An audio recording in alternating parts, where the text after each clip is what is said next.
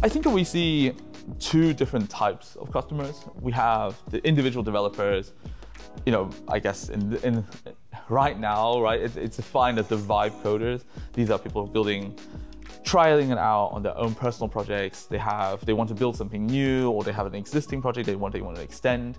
And very much they're, they're treating it as a productivity increase, right? So instead of just one person working on a, on a project, they, they can act as if they've got a 10-man engineering team working in product. They're shipping faster, they're really able to experiment much more, and actually they can integrate, uh, you know, you know, more things that they are unfamiliar with, right? So let's say hypothetically, if you were a junior developer and you've never integrated Stripe before, and you wanted to put billing into an app that you're building, you know, Genie could take care of that with you because the documentation in, Stripe is fantastic.